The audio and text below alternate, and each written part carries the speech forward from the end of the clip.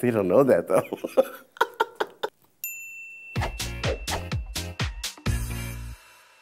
Hey guys, what's up? It's your girl, Jiggly Caliente of season four of RuPaul's Drag Race. And today I'm going to show you guys how to bronze up your skin. Ow. It's three simple steps. And the first thing you gotta do, wash your ass. Yeah, I'm talking to you hoes, nasty drag queens. Go to the meet and greet and not wash your ass. The fans know who you are, they sniffed you, nasty. The second step is you put on the body bronzer. And this bronze ambition, I got it in the UK since you know I'm like world traveled and stuff. It's very affordable. You put a little bit. That doesn't sound exactly classy, but you get it. Now I'm just going to rub it off. First of all, you rub it both with both your hands so you can evenly distribute it on your skin. I'm just gonna do it on my arms right now.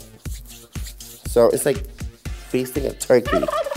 And then you evenly put it on this hand. Now, you rub this all through in your skin. I mean, you rub this in, like, I'm talking like just get it in your pores so that your whole skin is gonna be bronze. I know y'all nasties know how to rub it, so just rub, but just rub yourself. Oh, that doesn't sound right. So while it is still damp, we're going to step three.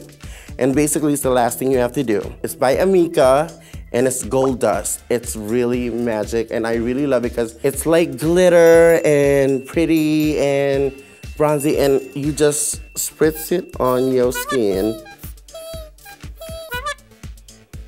You know, just, just and you try to get everything in there. And you do it also on this side.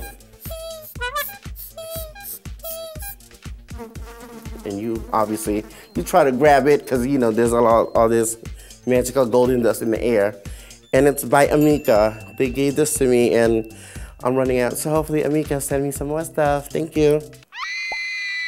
You don't want to end up with like gold orange hands because you don't want to look like you jerked off a Oompa Loompa. Oh. Right now I'm using this hand sanitizer and tissue to just get off the, the excess. Don't overdo it. Don't be like me and overdo it with the extra bronzers and you end up looking like a hot Cheeto. You may call me Jiggly. So everybody's like, why did you look so orange? I wasn't trying to be orange. It's just, I was freshly tan and then I did this. Lil goes a long way. You either want to go from J-Lo to Beyonce, but don't go too far, end up like Tan Mom. You know, unless you want you go to the Jersey Shore, then you might want to do that. Now that my skin is dry, I can put on my jewelry, get really dressed, and hit the door. Or in my case, hit the stage. So if you liked what you saw, subscribe, like, follow, all that. Bye.